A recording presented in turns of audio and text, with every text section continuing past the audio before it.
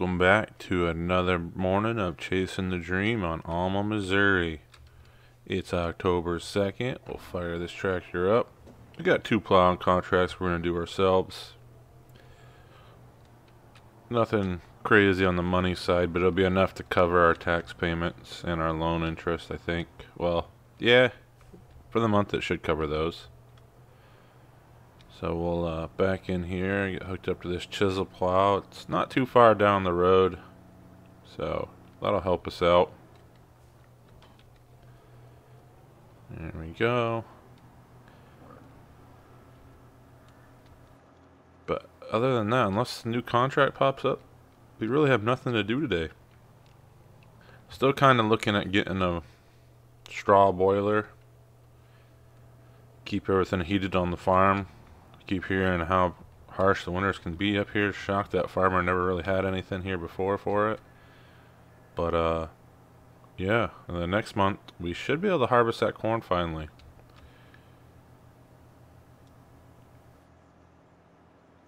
Might almost, I don't know, kind of thinking maybe, don't really want to rent anything. But, you know, using one of those cornfields for some silage just to get it in and go from there. Wouldn't mind seeing how much this BGA costs either. If we get enough, I mean, that's pretty steady income if we're dropping off slurry here once we get cattle going. But, uh, yeah. We'll, uh, cut back in once we get working in that field down here on field 7 and field 8. I think it's a combined 15 acres between the two, so not too bad.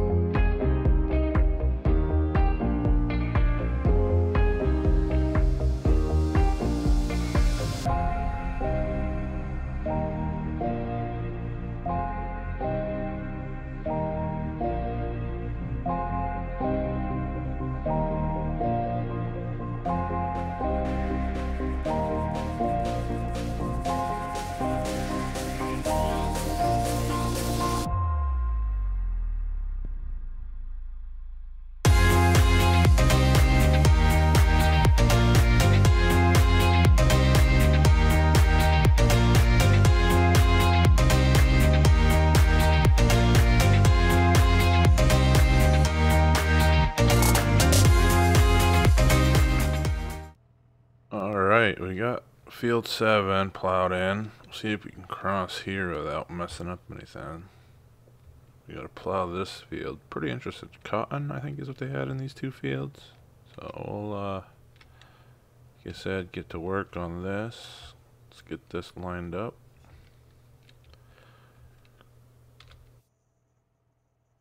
There we go. Should be good. Put it in gear.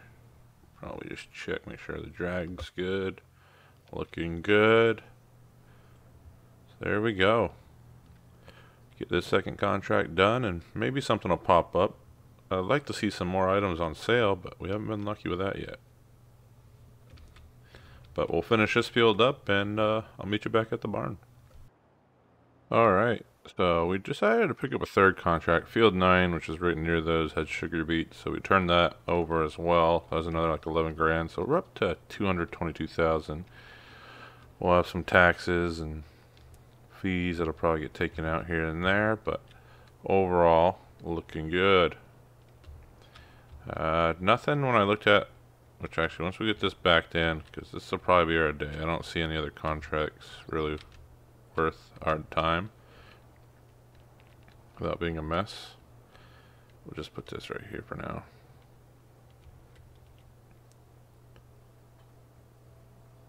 But, uh, yeah. Uh, like I said earlier, I looked before we did Field 9. They added, I saw there was a tanks for like an 8XR. And that was about it. So, getting down there. Like I said, next month's corn harvest. But I think this day's pretty much in the books for us. We'll have to do some, hopefully something good tomorrow. Like I said, the other thing I want to think about getting is right out here purchasing a boiler, straw boiler, and I think I'm going to put it right here because we can funnel it easily to that shed, this shed, and up to the barn, which is ideally what we want to do. We probably should start stowing some of this equipment away for the winter. It's getting to that point, you know? Kind of wishing I bought a silage wagon now, too, just so we can you know, get some silage going up here. Trying to get everything ready for when we have cattle next year, hopefully. But yeah, so I'm gonna head in and hopefully tomorrow we got some more stuff we could work on. See y'all in the morning. So we are now on the 3rd of October, year one still. Uh, we spent like $44,000 I think. They put this in pretty quick, so it's a straw boiler. We'll be able to sell off some of the energy we make, but for the most part, it's going to heat our buildings, which is key because it really needed a better heating system if the winters are as harsh as they say up here. But yeah, so I'll uh, shut this. Got it turned on, so it should start heating up. I think a flame hits it. I'm not fully sure how that works, but it's definitely running. So we got that going. See how long that runs. And actually if we go in here.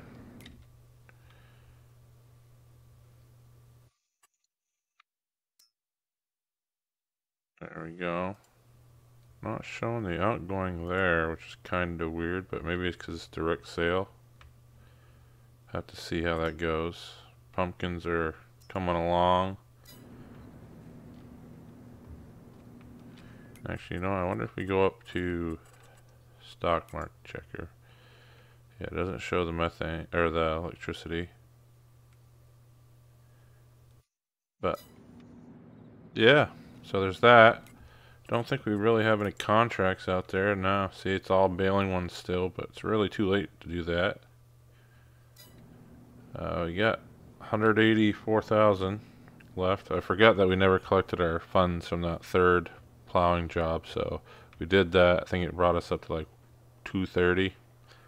Then we lost about 4,000 overnight in taxes and different things. Look at the pumpkins coming along great over there. At least get that going for us. Uh, in the store, we got three things. We got the Dazak Great Tanks, Interbunk, the old Perard system, and then we got a 8960 half off. Uh, what's the hours? 5.3 hours. 8 months. Hmm. I mean, ideally... Oh, it's tinted windows. Yeah, it looks in good shape. 300 horsepower. It could definitely do our chisel plowing for us. Oh the choices we have, right? I mean, it's really all it can do. It doesn't have PTO. Mean, unless... No, that's not... Yes, uh, I don't know. Uh, do we... Can we put a three-point with a PTO on it? We could for another 11 grand. I mean, ideally, that at least allows us, gives us something to pull the cart besides our stagger.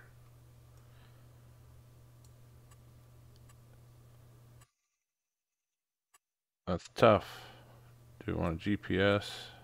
Uh, no. If we go up, another 16 grand. to go to 370 horse. I think we're going to hold off on that. We're not going to purchase this. I'm not doing it because I don't want to mix up the barn tractors, red and green, you know. I know a lot of you get annoyed by that. Let me know down in the comment what team you are, whether you red or green. But yeah, I think we're going to hold off on that. Uh, that'll probably be our day for this, to be honest with you. We'll uh, see if anything pops back up later in the day. If it does, I'll uh, fire the camera back up. I want to shut these, try to keep everything warmer. But yeah, we'll see where it takes us. Alright, so still sitting around 174,000. We're in November now. Our corn, pretty much ready. I mean, I think it's ready. Do some more checks on it. Uh, we took two contracts. We got corn to bring down to the corn dryer in town on field 17, and then right next to us, field 13 sunflower. Couldn't say no to those. Local farmer asked me we could do that with our own equipment. We didn't want to pay as much for all the ag stuff from the ag contractor that we've been working for, and I said, yeah, I could do that for a price. So that would get us about another 29 grand, I think. But I think we're going to spend some money. And I'm going to show you why. So we have our harvest. Kind of want something that makes it a little easier to haul. Other than that gravity wagon, which I don't mind it. We'll keep that for now. But I think it's, you know, something that kind of motivated me to want to go that way is, you know, there's a Kinze 1121 Harvest Commander in here. 53% off. Pretty good deal. Second part of that. Yep. 863 Turbo Bobcat. We will need one of those around the yard soon. Especially when we start dealing with beef, dairy, and all the other stuff that comes with having livestock. Makes it easier to move the bales around a little bit too. Larger stacks, especially when we're going to fill the boiler. So I think I'm going to purchase those two you know, there they are. Boom, boom. And then, well, actually, let's let's get right in there and purchase that right now. So that's soft tread. Can't really switch that up in the Midas. Oh, it does sit right in that wheel junction. Um, no rear hitch. Hell yes. Hell no. For that price, we don't need to attach anything to that. Crawler tracks 20,000. No. So, yeah, it looks like the deal only comes with that, but it holds 38.8. Pretty good uh, amount there. So, for 34,000, I'm going to say let's do it. Why not? We got to start spending money to make money. Like I said, the Bobcat, 39% off. Let's do it. We don't need a plate on that. It's going to stay in the yard. Gonna buy that. So now we're down to 124,000, and this is where we got to spend the money. We have the harvester already, right? So I was looking through, seeing what they have out there. You know, they're used, but they're marking them at new price. Nothing special, no sales essentially on these at the actual dealerships. I was looking at these two bison, uh, bison and the general. 70 grand though a little tough, especially when we're going to need something to pull behind it. And it's coming through here, then, well, BC Bueller, you know, I heard does a pretty good job up in Canada. Sends down these beautiful Mack trucks. So then I saw this for 50000 Really? I mean, it does all. You get the grain truck, obviously, too. You know, not bad. You know, I kind of looked at this Peterbilt 352 cab over, but from what I heard is that one has gone off the lot and come back and they just leaving it at that. Yeah, it's pretty affordable, but I think we're going to be stuck in the middle because that's what I keep hearing is people get stuck with it. So let's go in here. Let's look at this. Coming in all white. Wonder if we could change the color without breaking the bank. Air conditioner, standard. What color do we want? Do we want a red Oh, whoa, whoa. So this thing's coming in all sorts of colors here. I mean, different. That's uh definitely different. They're not going to charge us anything for that, so I don't even know where that that red was. Guess that's on that back. I really don't know where that is. I mean, that's kind of unique, right? Uh, license plate. Let's call this.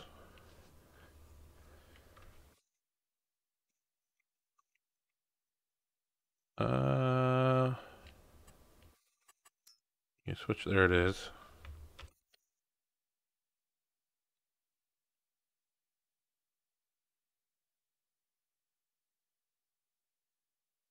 Uh, let's go.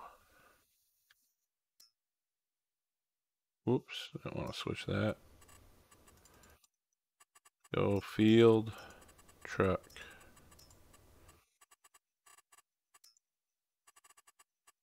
We're going to do it the funny way. Field truck. There we go.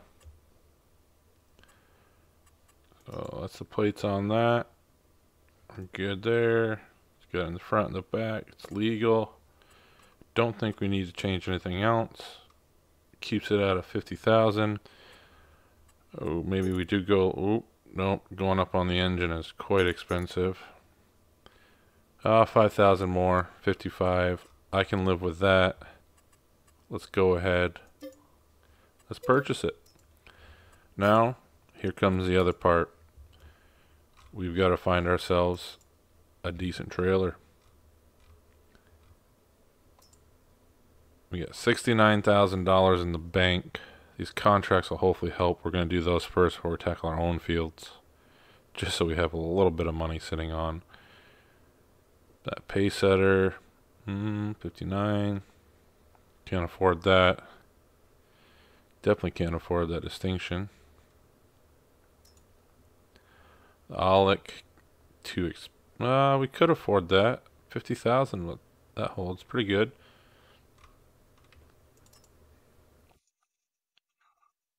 That looks pretty long, but isn't it? Yeah, it's more of a dump. So we're not going to be able to... I mean, we could use that, but not to that advantage. The A-Trax, no. Hmm. What about this Dakota? That's the same size as the... I mean, that's not a bad price. I mean, $20,000 for essentially what our green card will be. Jet hopper, we could afford that. 58. Uh, don't really want to put us deep down in the hole here, though. Load King 73. Can't use the Mack dump. You got this trailer for 35. That's more expensive than the other one. Um, 28 footer, still not really there either.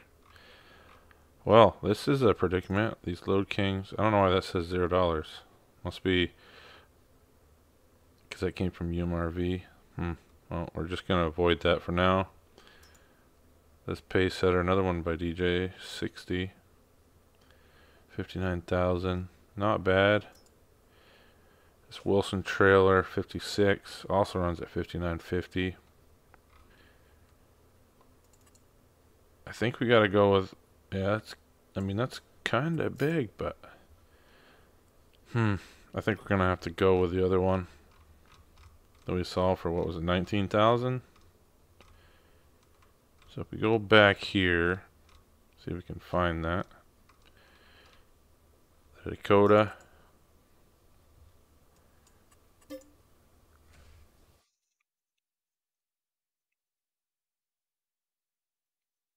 Brains zero one. Unique, right? Uh, Wheel set up. We'll keep that steel. What we got for a tarp? Get the blue tarp. Metallic blacks. That's not to work. Gun metal. I think the tan tarp will have to do. Alright. So we are down to $50,000 now. We have the stuff to get the harvest started. I think that's what we're going to do. We'll go to town, get all this back to the yard, and then we will head over. And I think the first thing we'll do is start that sunflower one before we break into that large field 17 corn one. And then we'll get working on our fields after that. Alrighty. Well, we've got the new equipment up here. There's our Kinze Commander, Harvest Commander. We've got the Dakota trailer. The hoppers. We got a new Mack. Thing sounds pretty nice. But, uh, yeah. We're, uh, doing pretty well. I think uh, this is where I'm going to call it an episode. Now that we got all this equipment back, it's 8.30 November 1st, and I think the start of next episode, we'll start in the cornfields. Or actually, no, we'll start sunflower contract that's over here. We're down at 50,000. We got been putting hay in there and not making any money off of it because we're using it all up in these spaces. But I think that'll be the thing to do, and then we need to start moving some of the serious equipment inside. The hay wagons can probably stay out here, but we'll get the disc spine and the baler cleaned up and in there. That'll be my next purchase actually is going to be we need to get a fuel tank and we need to get a pressure washer. But till next time, Farmer Taz out.